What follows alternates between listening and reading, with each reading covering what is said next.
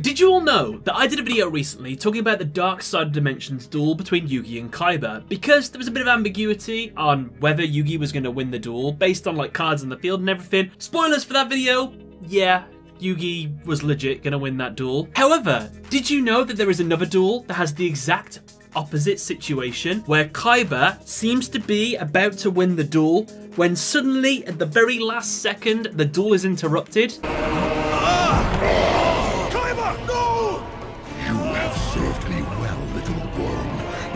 Have outlived your usefulness!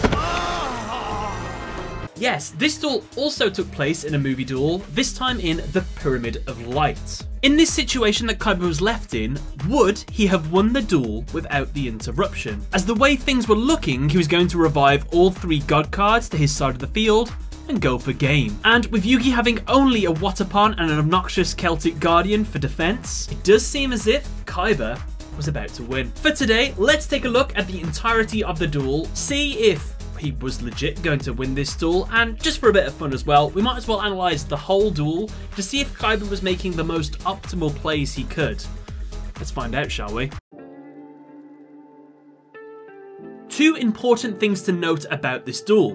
One, Kaiba already did a simulation on how this duel would play out, and basically, he got clapped. My dragon!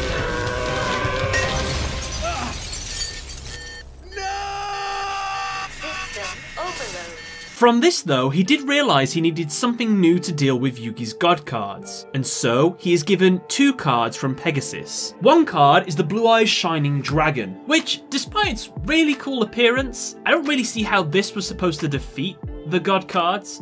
I'm going to assume that Shining Dragon's third effect, which is you can offer this card as a tribute to destroy any cards you choose. Maybe that was somehow capable of destroying the god cards themselves, possibly. Or more likely, its ability to gain attack for each dragon in the grave was meant to be able to surpass the powers of the gods themselves. So I mean, if we look at it like that, okay, I can see how Blue Eyes Shining Dragon could outclass the gods to a degree, okay? However, unbeknownst to Pegasus, there was another card that was given to him, and this was the Pyramid of Light. That's the name of the movie. Now, this card was secretly put there by Anubis, and for shady reasons. However, I want to be honest with you, I think this is the first shenanigans with the Yugi versus Kaiba duel in this movie, because this card in of itself does almost all of the work against Yugi's god cards. I know Kaiba had to orchestrate getting them all out to the field, and a lot of strategy was involved in that. But a card that literally says remove all god cards from the field, and it was given to him by an outside force, a bit too broken, I think. So for me personally, if it was going to be a really fair duel, then take this card out of Kaiba's deck and just see how Kaiba does with just the Shining Dragon. It's also worth noting as well that after he got the new cards, he ran the simulation again, and this time it came out as Seto Kaiba the winner. And fun fact, if you look closely, you can actually see that Kaiba already knows most of the cards in Yugi's deck. He even knows about his new Ace Monster. And it also seems to be implied he plans to win by deck out, based on the fact that Yugi still has some life points left, but no cards in his deck. So then, with that out of the way, let's take a look at the full duel, shall we?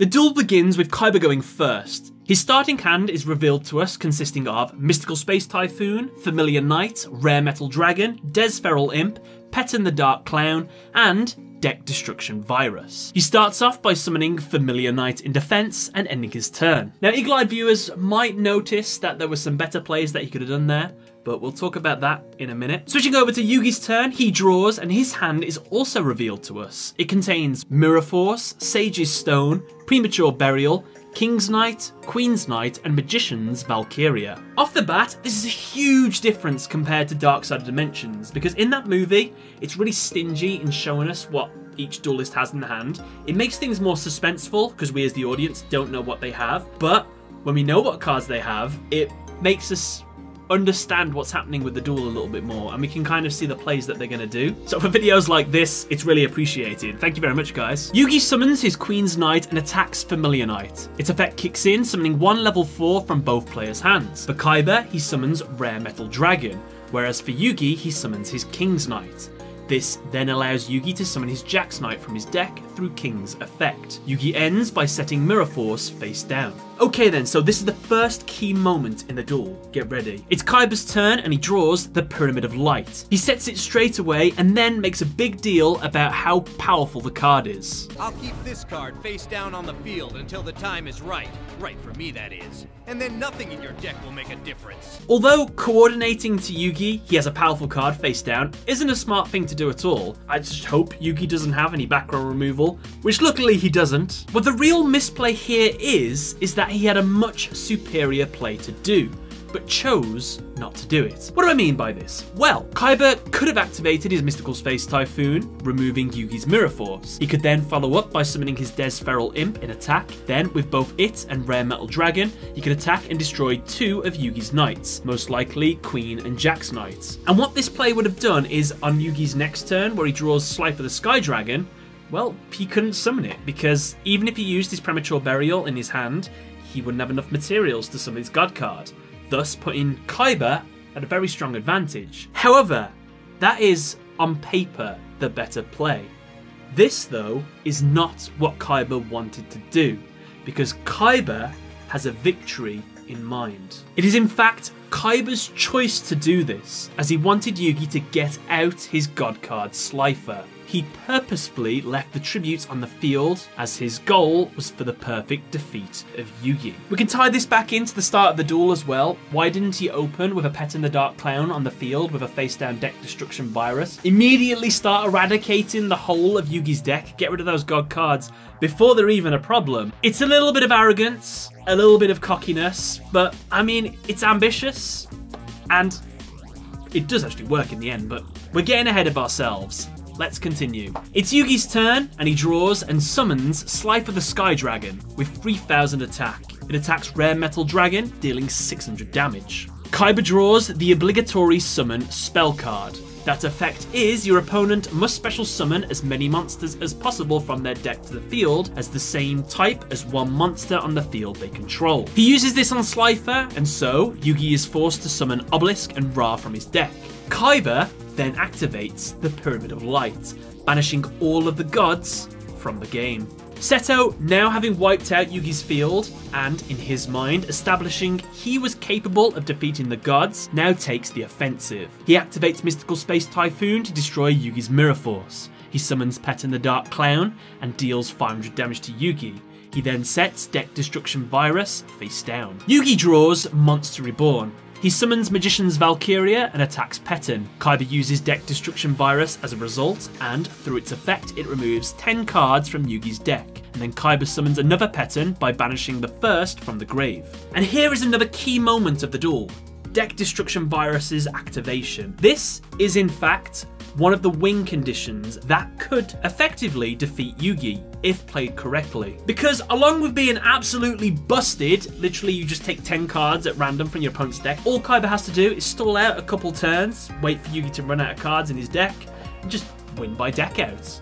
I mean, it was something he could have done. He's not going to, but was a possibility. But we'll talk more about that a little bit later as well. Let's let's carry on. Back to Kaiba, and he draws Card of Demise. He summons Des Feral Imp and then activates Card of Demise, drawing five new cards as his hand was empty. This new hand consists of Polymerization, Blue Eyes White Dragon, White Dragon Ritual, Paladin of White Dragon, and Attack Guidance Armor. He sacrifices his Des Feral Imp to ritual summon Paladin of White Dragon.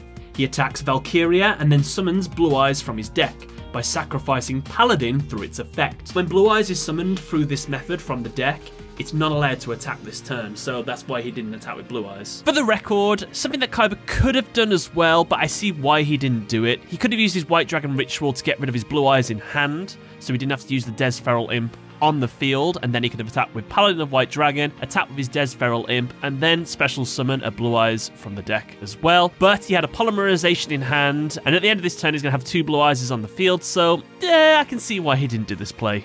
Yugi's turn and he draws Mage Power. He uses Premature Burial and Magician's Valkyria and activates Mage Power. He sets two cards, Sage's Stone and Monster Reborn. He attacks Blue Eyes, but Guidance Armor redirects it to Peten.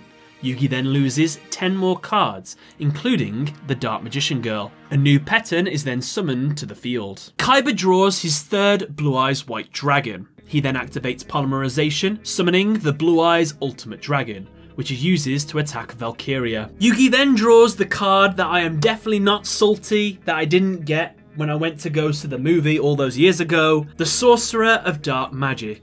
He uses Monster Reborn on Dark Magician Girl in the grave, and then plays Sage's Stone to summon Dark Magician from what's left of his deck. He then sacrifices both for the summon of Sorcerer of Dark Magic. This monster reduces Ultimate Dragon's attack by 500 for each Magician in the grave that was sent from the field. This totals 3, so it destroys Blue Eye's Ultimate Dragon. Kaiba then draws another card that I also didn't get when I went to see this movie in the cinema. Fun fact, I got Watapon. Whatever. Kaiba draws his Blue Eyes Shining Dragon. However, he has no plays, so he is forced to end his turn. Yugi draws Exchange. Sorcerer attacks Peten, and Deck Destruction Virus attempts to take 10 more cards from Yugi's deck. However, Sorcerer negates it and destroys the card. Kaiba draws Monster Reborn. He resummons Blue Eyes Ultimate Dragon from the grave and then sacrifices it for Blue Eyes Shining Dragon. It gains 300 attack for each dragon. There are 5 in the grave, so it has 4500. And now Yugi only has 200 life points left and only one card left in his hand, which is Exchange. But wait just a second. Five dragon type monsters? Let's count that again. So Kaiba had Rare Metal Dragon at the start of the duel. It was killed by Slifer. He's had three Blue Eyes so far, which he used all three to summon Blue Eyes Ultimate Dragon. And then Blue Eyes Ultimate Dragon went to the graveyard as well. So that's one, two, three, four, five. Oh.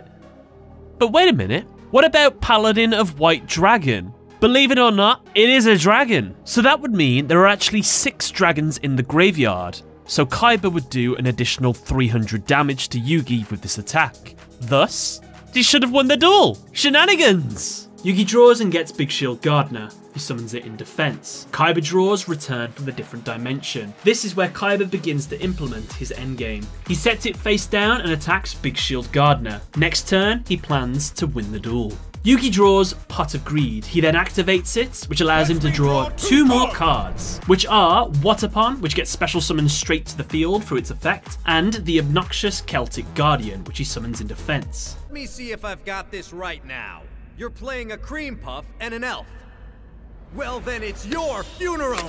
Now all Yugi has left are two monsters on the field with no back row and an exchange spell card in hand that he cannot use. Kaiba draws Spear Dragon, which unfortunately is immediately discarded due to the negative effects of Card Demise, which was activated five turns ago. Fun fact, had he summoned Spear Dragon, attacked Watapon, have won the duel. Also, fun fun fact, this is probably the only time where Kaiba activates Card Demise, where we see the negative effects of Card Demise. So broken in the anime, my goodness. And here it is, the moment of shenanigans. Kaiba attempts to blow up the Pyramid of Light with Shining Dragon's third effect, with the plan being to use the return from the different dimension he set the previous turn to summon all three gods that are banished back to the field and then attack with all three for what Kaiba describes as the perfect victory. Sadly though, the Yugi plot armor kicks in and Anubis denies the destruction of the Pyramid of Light and then proceeds to take over the duel. Literally tossing Kaiba aside in the process. Now this really is a shame because for all intents and purposes, this duel was going to be won by Kaiba. But let's make sure, let's go through all the steps and see if this really was going to work. Shining Dragon's anime effect is rather vague. It is unclear if it can destroy one or several cards based on its effect. If it's the latter, then this is an easy win for Kaiba, as he can just nuke the entire field, destroying Yugi's two monsters, and then attack for game with all three guards, why not? But more likely, let's just assume it can only destroy one card on the field. Well, the same thing happens, except Kaiba will now have to attack Watapon an obnoxious Celtic Guardian, which is a problem, as Kaiba has no cards in hand, so Slifer would be powerless. Ra would also have no attack, however, he has a little bit of life points, so he can increase the monster's attack through his life points, just enough so he can destroy obnoxious Celtic Guardian, as keep in mind that monster cannot be destroyed with monsters with more than 1900 attack. However, this would then mean that Obelisk would have to attack Watapon, meaning he wouldn't be able to deal any damage this turn. So that would mean Yugi would live for another turn. I'm going to learn the next card that Yugi's going to draw wouldn't have helped him out in this situation. So we'd have gone back to Kaiba. Kaiba would have attacked the game. Kaiba won game through attacks. However, there's another play where he can win this turn. It was already established earlier in the movie that obelisks contribute two other monsters on the field, destroy all of the opponent's monsters, and then inflict 4,000 life point damage. And also get infinite attack. Don't try to figure out the god card's abilities in the anime. There's, uh, it's a mess. It's don't worry. So, case closed. Kaiba wins. Well, there's a bit of a technicality here, which we have to mention. Technically, Return from the Different Dimension specifically states in its effects that it can only summon your banished monsters. Meaning Kaiba wouldn't be able to summon the Egyptian gods at all. In fact, the only thing he'd be able to summon is two Peten the Dark clowns that he banished earlier in the duel. I am going to ignore this detail because Kaiba was fully sure this was going to work and I have no reason to doubt he just didn't read the one card part of his strategy. So regardless of what the card says, if he would have used Return from the Different Dimension, I 100% believe it would have revived all of the gods back to his field. It's fine. And that, in honesty, answers the question that I wanted to answer. Yes, at the end of the duel, Kaiba would have won this duel had it not been interrupted. But, fun fact, he could have won the duel a lot earlier and in a lot of different ways as well. He could have stalled out the duel, as he had only got one more card left in his deck. The other way he could have won, just don't destroy the Pyramid of Light, just attack with your Blue Eyes Shining Dragon, draw some of the other monsters we all know you have in that deck because he still has a stacked deck, just summon them and attack and eventually get game. But it is worth noting that these victories all stem from the use of the Pyramid of Light trap card which does sadly taint this duel slightly for me. As I personally would have loved to have seen this duel without the Pyramid of Light, because that would have been two fair duels, Yugi with all the Egyptian gods at the peak of his power, versus Kaiba with the blue eyes shining dragon. These two going at it would have been interesting, I would like to have seen it. And in a perfect world as well, Kaiba throw his pride aside for just a minute and not go for the perfect victory he should have just, as soon as he entered this duel, gone for the win straight away. Got rid of those monsters, don't even let him get out those Slifer's, just let him get milled to the graveyard. And what I'd love to know is, what do you guys think of this duel? Do you like the way that Kaiba played this duel? Do you think it was good that he wanted to go for the perfect victory and really prove he was better than Yugi? Let me know in the comment section below. Now this isn't related to what the video is about, but I wanted to clear this up because I saw a few like discussion threads about it. But people say that Anubis would have won this duel if he had just attacked Obnoxious Celtic Guardian with Andro Sphinx because it deals half the damage. But keep in mind that Obnoxious Celtic Guardian can't be destroyed by monsters with more than 1900 attack, so there was no situation here where he could have won. I just thought I'd throw that out there just to let you all know. At the end of the day though guys, this duel technically isn't canon, nor is this movie. Anubis is never mentioned in the manga anywhere, so even if Kaiba would have won this duel, which would have been nice, it wouldn't have counted. This was just made for fun, I hope you enjoyed it regardless. I quite like going through these really like analytical looks at the movie duels. Maybe in the future we can do the Bonds Beyond Time duel, just to see how that duel panned out and everything. Thank you all for watching, you have been absolutely fantastic. Don't forget to leave a like if you enjoyed and you want to see more. But other than that, thank you for watching, catch you later.